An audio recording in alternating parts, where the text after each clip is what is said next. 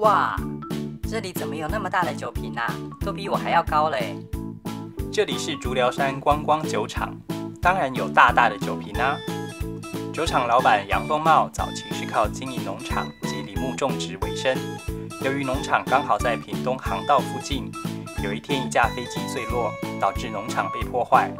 而老板以前就读嘉义农专，对于食品了解，于是开始利用在地水资源制作酒、醋等产品。酒厂内的产品主张百分之一百天然、纯酿造，不加酒精、香料、色素及防腐剂哦。好，进了酒厂我也要喝酒。大一弟弟，未满十八岁不能喝酒啦，你乖乖的喝大树当地名产凤梨和荔枝口味的水果醋就好。哥，人家我满十八了啦。但是我判断你心智年龄只有十岁，所以还是不准喝酒。哥，这里是哪里呀？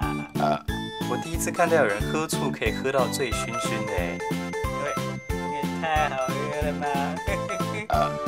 酒厂附近有一个竹寮取水站，建筑风格既不算纯中式的传统建筑，也不属于哥德式或巴洛克式建筑，而是中西建筑理念合璧的产物。目前竹寮取水站内设施都保留的相当完整，也都还在运作当中。高雄市政府已经将竹寮取水站列为三级古迹，你快去洗把脸，清醒一下。